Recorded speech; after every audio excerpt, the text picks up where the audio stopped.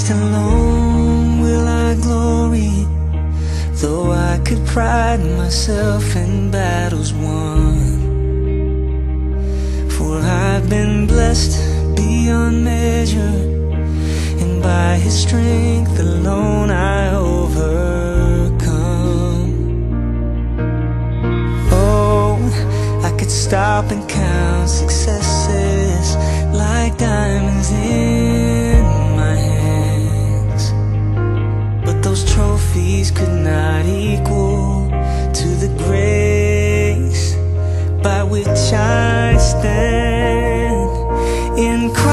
to love.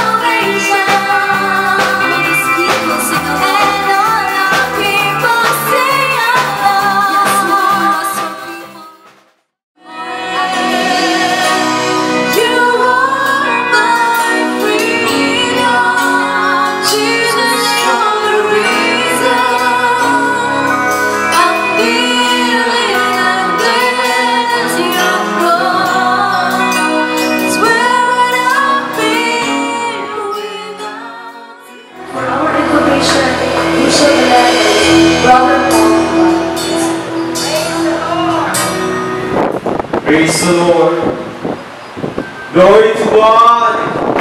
Natin ang Panginoon. Dakilang Diyos na aming Ama, banal at makapangyarihan sa lahat.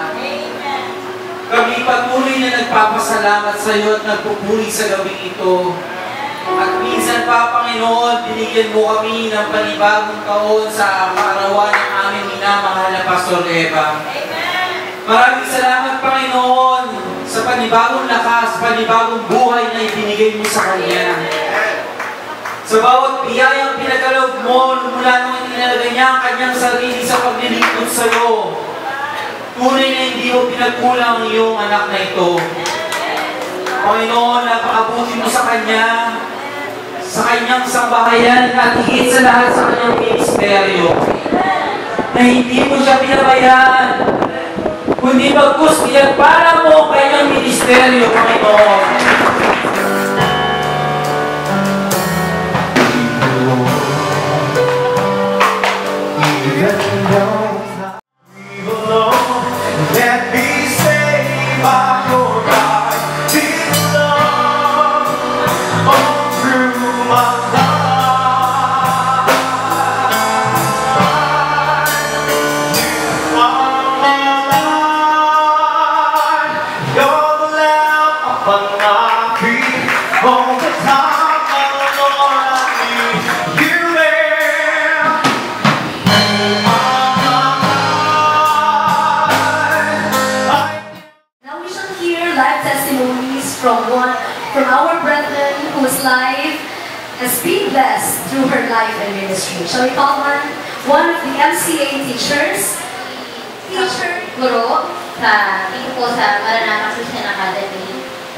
Masasabi kong napakalaki ng nangiambang ng mahal na Pastor Eva sa aking profession, sa, sa aking profession bilang isang guro.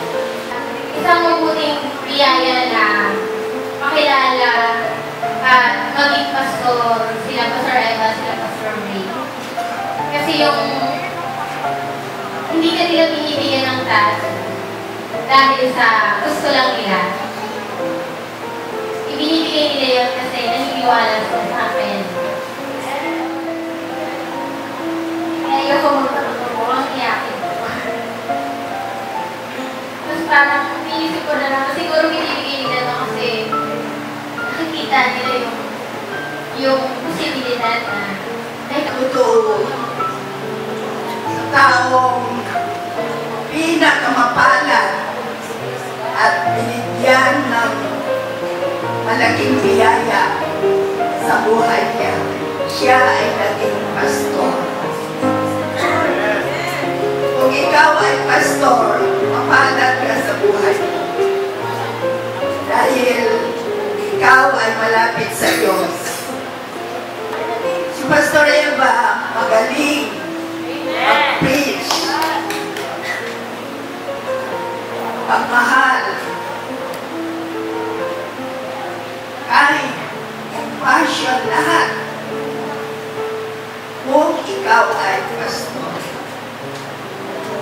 At all, yan, ah, marunong ka magdasal, marami for having a pastor who applies all the word of God that he is teaching to us. Pastor Eva and Pastor Vic will be fulfilled and it will be in success dahil sila ay modelo sa lahat. Birthday, Pastor Eva, may you uh, finish your doctoral degree this year and to be called doctor and pastor at the same time. Congratulations and more birthdays to come.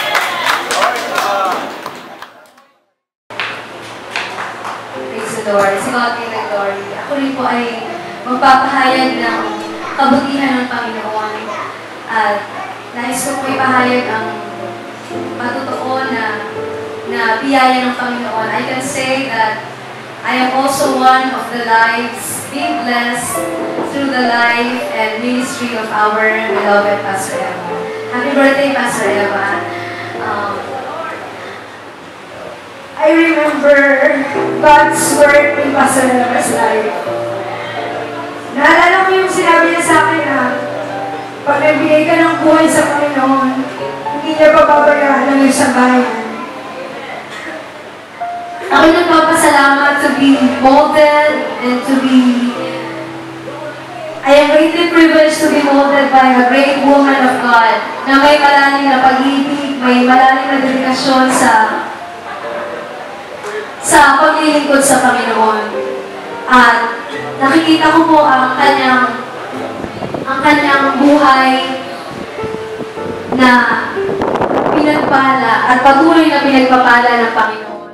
Wala ako na yung mga mga narating dito, sorry, hindi dahil sa dahil sa kanyang karunungan lamang, lahat ng kanyang ginawa ay ay kasama ang panalangin doon. Gabay ko sa gabay ko sa buhay ngayon na kahit na kaano ka kagaling kung walang panalangin, walang awat habang sa Panginoon, wala kang walang walang mangyayari sa iyong buhay. Ang mahalagang bagay sa aming mag-asawa, like yung pagkakaroon namin ng anak, biyaya po ng Panginoon, sinunod namin ang payo nilang, sunod namin yung payo nila Pastor Eva at Pastor V. So, parang lahat ng mga ano, parang tungkol sa pagninegosyo, kami sa hihingi ng payo kay Pastor. Kung ano mang achievement sa aming buhay, humihingi kami ng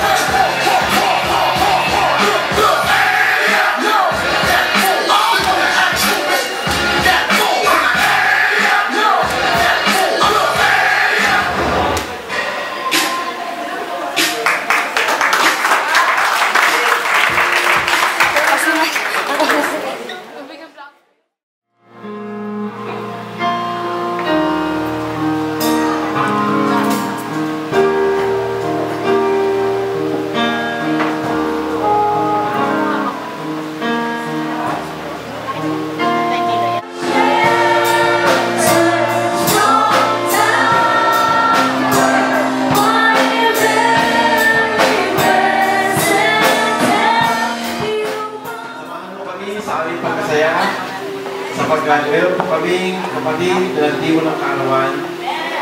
Walang iba kundi ang. Ang aming kasama ng Diyos, nakamanggagawa, ang aming administrator sa MCA. Samahan mo siya o Diyos na ngayong gabi dalangin namin para sa Kanya. Na iba yung kagalakan, iliro sa Kanya, kalakasan at kalusugan, patuloy mong ipakaloob sa iyong lingkod ng Diyos. At higit sa lahat, ang biyayang karunungan, ang pananampalataya niya ay patuloy mong pagtibayin, Panginoon. At kami po ay nasa likod niya sa kanyang mga ambisyon para sa iyo. Sa kanyang mga pangarap para sa iglesia. Para sa kapurihan ng iyong pangalan. Ang buong iglesia ay dumadalangin para sa kanyang tagumpay. Kaya pagpalain mo, Diyos, ang gabi nito, naming maalala, Panginoon, ang aming mabuting ginawa po sa kanyang buhay at kasama po kaming lahat. Salamat po, Ama, sa pangalan ng aming Panginoong Jesus. Amen. God. Na kung nag-birthday kayo, lagi nyo isipin ang misyon. Lagi nyo isipin na bawat habang uh, tatanggapin yung mga biyaya, dapat para po sa misyon. Kaya tatayo po tayong lahat at mag-ibigay po tayo ng ating missionary offering para po sa kaalawan ng ating sa aming Panginoon.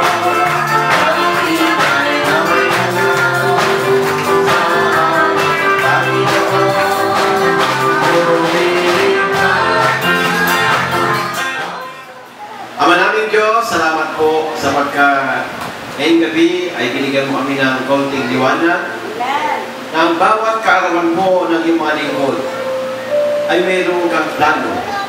Hindi mo kami tinawag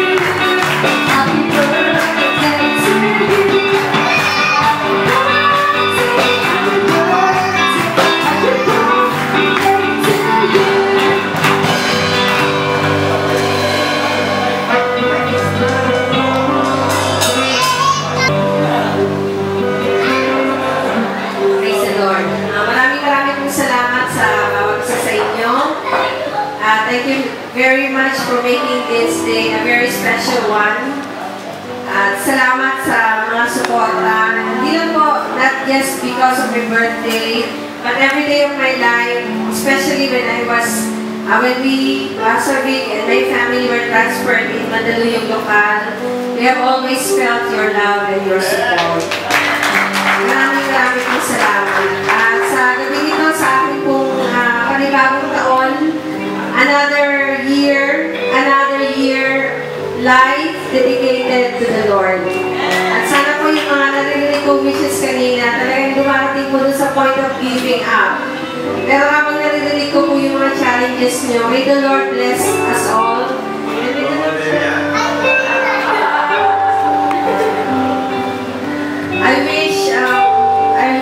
more souls for the Lord. And I wish more young people dedicating their life to the Lord. I wish more teachers, not just teachers in MCA, but becoming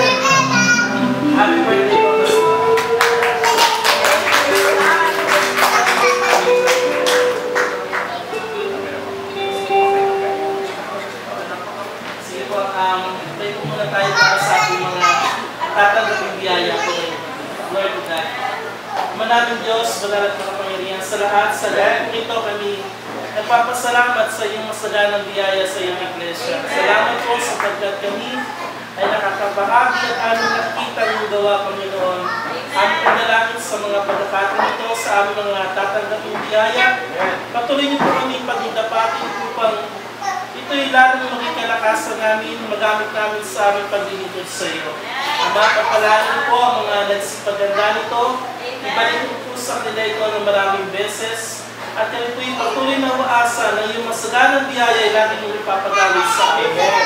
Aba, salamat po ang maraming pagkakatwala sa ngalan ni Jesus. Amen. Mag-pray po lang. Ah, pray tayo, pray, pray, bigay po tayo. Amang Diyos, salamat sa pagkating gabi. Nalubos ang aming kagalakan sa mga nakita po namin ng ilikon. Siya po ay iyong pinasaya. Ito siya pinasigla. Dalangin namin ng Diyos, kasama po ngayong gabi, na ang kanyang mga sakit ay yung pagalingin. Ang mga request ay bigyan mo ng katuparan.